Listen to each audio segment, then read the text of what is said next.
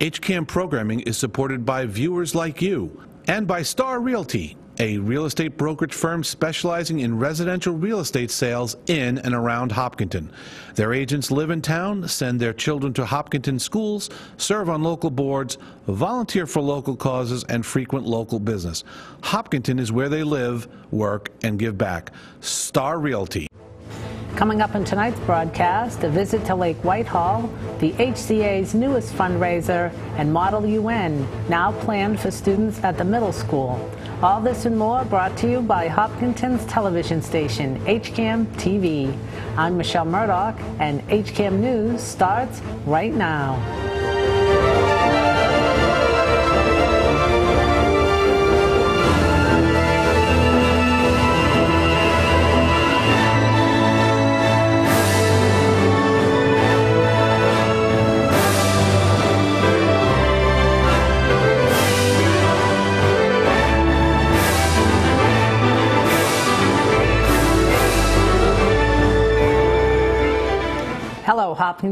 And welcome to HCAM News for the week of July 22nd.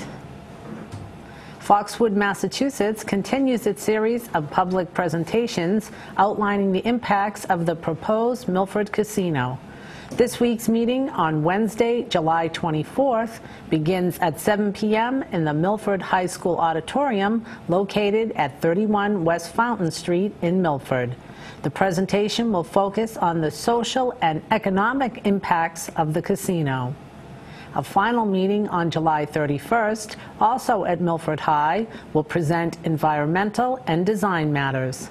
All meetings are open to the public, and any questions or inquiries from Hopkinton residents should be directed to Selectman Brian Herr, Chairman of the Metro West Anti-Casino Coalition. Project Just Because will hold its second annual Christmas in July fundraiser and silent auction this Thursday, July 25th, from 7 to 10 p.m. at their headquarters on South Street.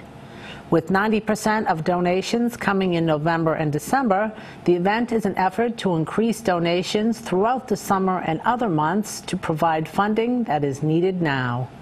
In addition to hors d'oeuvres, beer and wine, entertainment, and a visit from Santa, there will also be a silent and live auction with items such as a signed Gronk game jersey, a week in Ogunquit, Maine, Red Sox tickets, and various gift certificates. Tickets are $35 per person in advance or $40 at the door. Stop by, call, or email the Project Just Because office for tickets. The children's room at the library is in full swing for the summer season with several events taking place last week, all with a dinosaur theme. As part of the library's Dig Into Reading theme, the library is hosting several related children's programs throughout the summer. Last Monday, children had the opportunity to uncover information about mammals that live underground.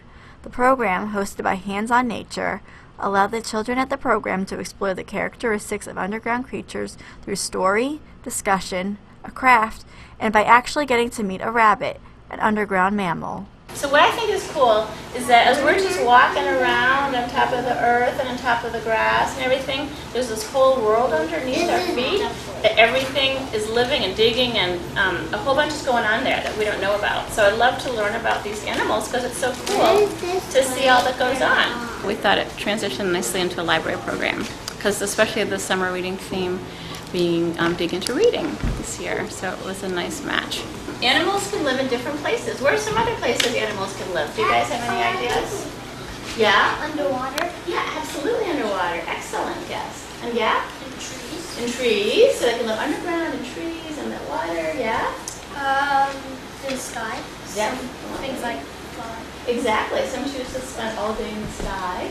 Um, yeah? In a cave. Yeah, in a cave. That would be cool. It was a fun bunch of kids, and they, I loved how they were also interested and had so many great questions. And then on Thursday, the crafts and stories continued with Youth Services librarian Denise Coffrin, who read a few gardening related stories, including one about flowers and potatoes. Spring has arrived. Zinnia is getting her garden ready for planting. She digs up the soil and she turns it over with her shovel. She takes one of the stones, she takes out stones and rakes the dirt smooth. The warm sun feels good as she works. Warm sun doesn't feel so good today, does it? We shovel compost onto each hill. Wait, won't that smother the plants?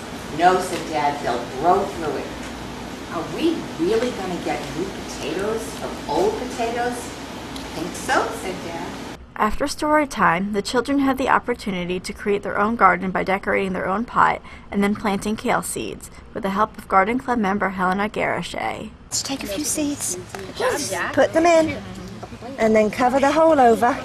That's lovely. I just thought this would be a kind of fun thing for the kids to do, decorate their pots and uh, plant a seed, and hopefully they will grow and it will teach them about um, maybe doing gardening and maybe inspire them. I think it was really fun because I do it at home a lot. For a full list of summer library activities, visit hopkintonlibrary.org. With this library update, I'm Stephanie Kane. The fun continues this week on Tuesday, July 23rd at 10:30 a.m. with the Caravan Puppets. On Friday, July 26th from 2 to 4 p.m., stop by and make an ant during drop-in craft. For questions or more information about any library events, visit the library website for more details. Next up tonight, the HCAM News camera makes a quick trip to Lake Whitehall, the 525-acre lake located in Whitehall State Park, an area of Hopkinton that personifies rural character. In 1894, the Commonwealth of Massachusetts created Whitehall State Park, also known as Lake Whitehall and Whitehall Reservoir, by taking the land to create a new public reservoir. No longer used as a source of drinking water, the 920-acre Whitehall State Park surrounds and includes the 575 acres that make up Lake Whitehall. The park is owned and managed by the Massachusetts Department of Conservation and Recreation and offers boating, fishing, and hiking trails, but there are no beaches or camping areas. The main trail around the lake is approximately six miles long and winds its way through the woods, offering frequent views of the lake along the way. Canoes, kayaks, and small powerboats are allowed, and watercraft speed is limited to 12 miles per hour. There is a boat launch with parking at the north end of the lake off Route 135 and according to the Friends of Whitehall website, the best place to start a hike on the south end of the lake is near the bridge where Pond Street crosses over the southernmost tip of the lake. The trail is marked by blue triangle blazes. This is actually my favorite spot on the lake and the one where you can often see people fishing or putting their canoes into the water. Once out on the water, one of the more interesting things to see is the beaver dam shown here from a canoe. Also on the north side of the lake is the Whitehall Dam, yet another great spot for scenic photos or fishing. So if you live in Hopkinton but have yet to explore the wonders of Whitehall State Park, this summer might be just the time to do it. Work is ongoing at the Hopkinton Center for the Arts as the second phase of renovations continue. To help fund the changes, the HCA hopes to paint the town with their latest fundraiser, which kicked off last week. Phase two of the Hopkinton Center for the Arts expansion project is now underway. This phase will renovate the 6,200 square foot barn into a multi-use learning space with an additional wing for performances, exhibits, and more. In May, reframing, re-siding, and re-roofing of the barn began, and as the work continues, classroom studios, rehearsal space, an exhibit hall, and a community meeting room are finally becoming a reality. One exciting development during the renovation process is the ability to use the second floor. The best news that we didn't uh, realize was going to be a possibility is we've been able to use the second floor. So the entire second floor will be classrooms as well. So we're thrilled about that. The project is a joint undertaking by the Hopkinton Center for the Arts and the Hopkinton Community Endowment with a shared goal of creating a regional arts facility for art, dance, theater, film, and more. For those involved with the project, the excitement surrounding the recent progress feels good. I can't even explain how it feels. It's so wonderful. I mean, it's it, the energy that has uh, come from this project and the support from the community has really been overwhelmingly positive for some time now. So um, it's not surprising at all to us who've been here, but it's just been so wonderful to see uh, and have so many people come up to us and, and talk about their excitement and uh, all the possibilities that are going to happen in this center. So it's great. Currently, the estimated cost of Phase 2 of the project is approximately $1,500,000, and the total cost of the campaign is currently being revised as final construction costs are determined. To date, just over $1 million have been raised, and the fundraising continues this summer with the Paint the Town campaign.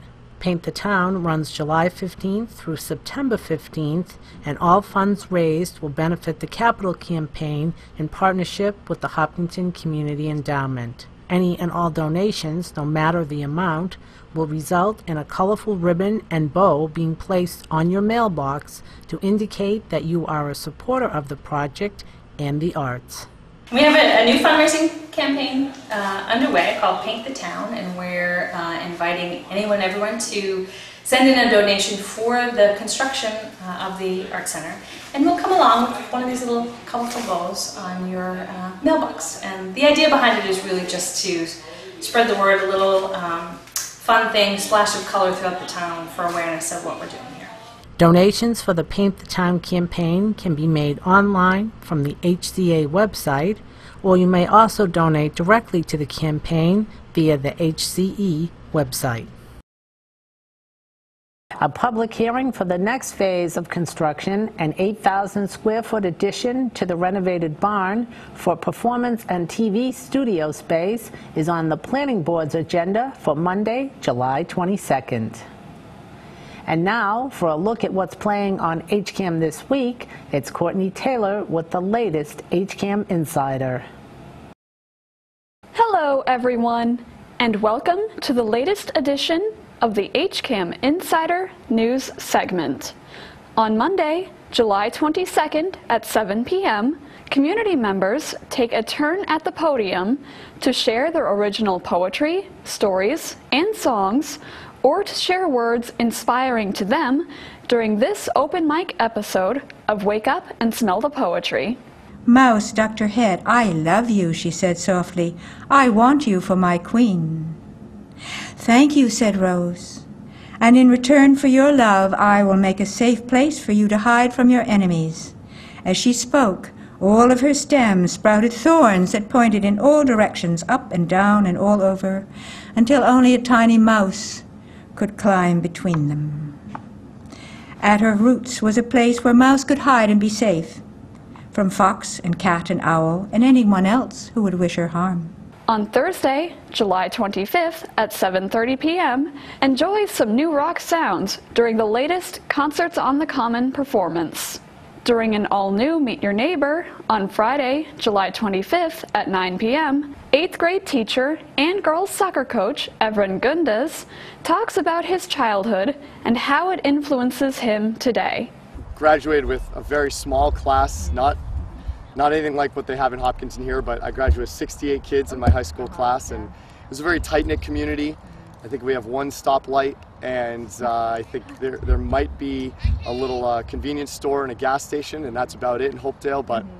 Grew up in, with a lot of good friends, and we all played soccer growing up. And mm-hmm. it was a, I was born and raised in that town. Mm-hmm. Never had to move, and those are where my roots really started. All of our regular HCAM programming replays throughout the week, so visit www.hcam.tv slash schedule for additional program dates and times. During the latest edition of Dive In Drive In on Saturday, July 27th at 8 p.m., a man named Ben tries to protect six people trapped in a Pennsylvania farmhouse during a zombie attack in Night of the Living Dead. HCAM's Mike Prate and Mike Terosian share some trivia about this horror film classic. With a cast of unknowns and no real star power, you wonder how it got made at all. The film was made for $114,000 and grossed over 30 million worldwide. It also was the first time the hero was an African American in horror films. On Sunday, June 30th at 10 a.m., the Planning Board meeting from July 22nd will air. All throughout the week on HCAM Ed, the noteworthy outreach concert at Elmwood School will air. For program dates and times, visit www.hcam.tv slash education. To have the HCAM Insider newsletter delivered to you automatically, you just have to sign up for it. If you already receive it, please pass it along to a friend and help us grow. As always, thanks for watching HCAM. Now back to more HCAM news. We're going to take a short break next, and we'll be right back with plans for bringing a Model UN club to the middle school for the fall. Hi, I'm Cheryl Peralt, host of the program Meet Your Neighbor on HCAM TV. This show introduces you to Hopkinton residents, the many interesting people who are our neighbors, and we invite them to share stories, experiences, insights, and observations from their lives. We'd like to hear who you think should be interviewed on our program. So if you know someone that Hopkinton should get to know more about, please email me and stay tuned for more episodes of Meet Your Neighbor on HCAM TV. Students at Hopkinton High already participate in Model UN, a club that simulates activities of the United Nations, but middle school teacher Julie Feeney hopes to offer middle school students the chance to get involved when school begins in the fall. If any other country had moved in such an unprovoked, destructive manner as the United States has done, they would be instantly trade sanctions would be instantly imposed upon them. I move that the United States, no matter how economically powerful, is no different. It is our responsibility as an international body to condemn them. Starting this fall, middle school students will also be able to put their debate skills to the test, just like their high school counterparts, with the formation of a Model United Nations Club at the middle school level. The After School Club is designed to be a simulation of the UN, where participants research and debate various current event topics. Although there are around 2,000 schools across Massachusetts that have Model UN programs, there are only a few that are currently in middle schools. It is kind of unique because most Model UN starts at the high school.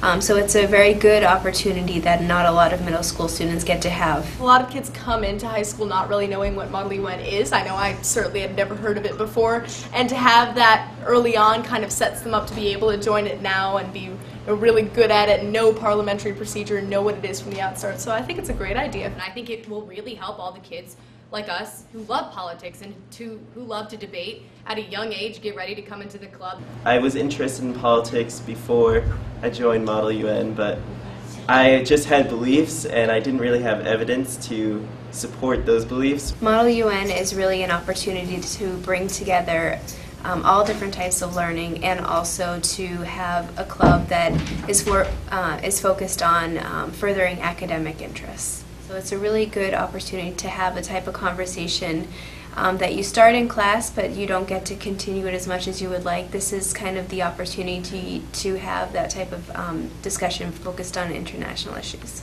Although specific details haven't been worked out yet, there have been discussions for high school students involved in Model UN to work directly with those participating in the middle school. A lot of the high school students said that they wish they had done uh, Model UN starting in the middle school, so they're very excited for the opportunity that the middle school students have. So I know that um, we should be expecting high school guests and that they um, are going to be great and supportive of what we do. The club meets once a week at the high school and will most likely follow that same format too at the middle school.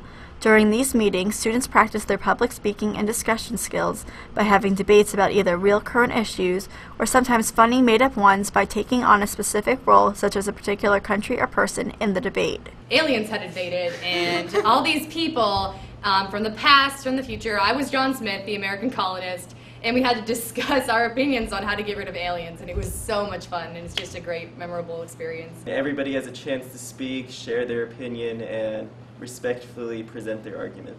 The United States would just like to say that although its actions may seem rash, so does the invasion by Canada and Mexico.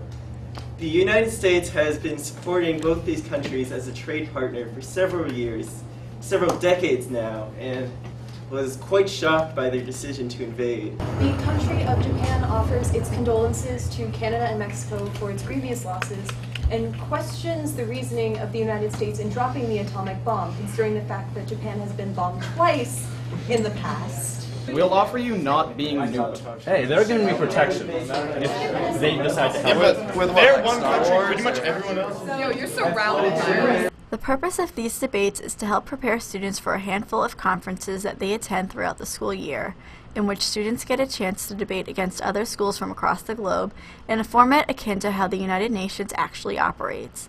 There are conferences specific to students both at the middle and high school level. I was in a conference my sophomore year at St. John's Prep, and the topic was internet censorship, and I was the Solomon Islands, and the Solomon Islands doesn't have much internet, and we're a very small nation. My chairs that chaired the committee didn't even know that the Solomon Islands existed, so I was set up to not be able to do very much. But I expanded beyond that. I did a lot of research, and I gathered information about the Solomon Islands and formed my own opinions based on what I had researched, and I ended up being a really major player in discussion, and my ideas got passed on the resolution, and I made a lot of something that started really small. At UMass this spring was the Dalai Lama in a committee for Tibetan independence, and it was very cool being the leader of a spiritual movement um, and trying to negotiate with the Chinese and other world powers on gaining independence for Tibet. Through these exercises, students develop their public speaking, research, and debate skills.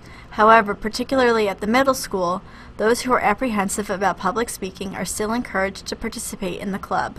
There's still a lot to learn, and there's lots of ways that you can help um, support members of the club who are more comfortable with speaking. So we need everybody. Ultimately, the goal of Model UN isn't just about education and debate, but about having fun while doing so. It's fun to meet people from other schools and talk about things that you really care about and kind of um, to pretend that you're a diplomat. It's, um, it's really a good time. Really, what it's all about is sharing your knowledge, sharing your enjoyment of the world, and learning about how it works. And that's a really great thing when you embrace it. So have fun. If you're doing Model UN, you should like doing Model UN.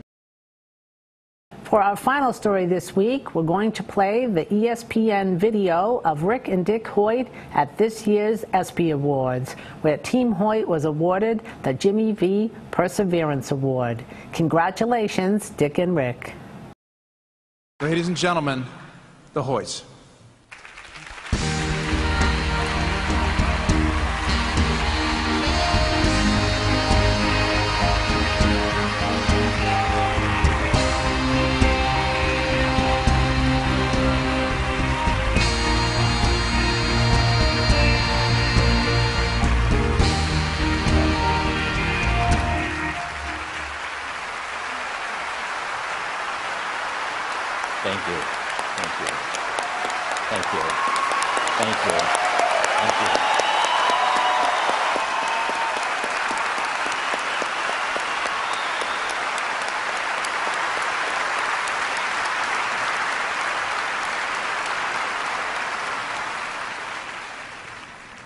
Want to thank all of you for giving such a warm welcome to a couple of stubborn Boston guys.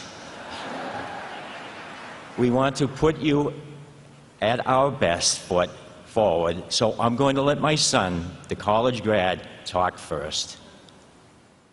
I am so excited to be here in LA to receive the Jimmy V Perseverance Award. I can hardly believe we are here.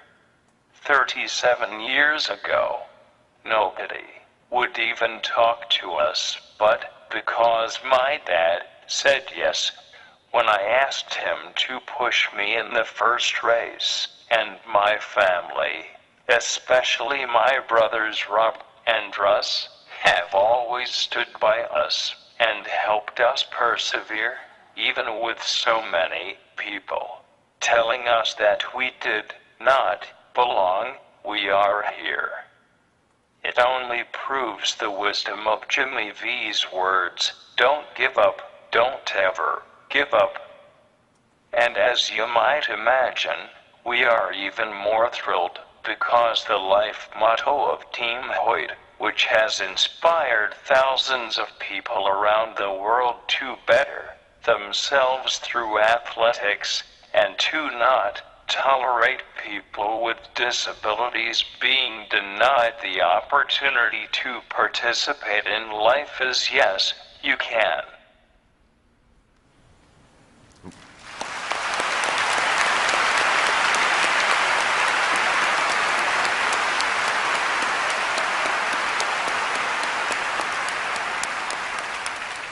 Rick is my inspiration. He has taught me great many things over the years, and every day I consider myself lucky to be his father and teammate.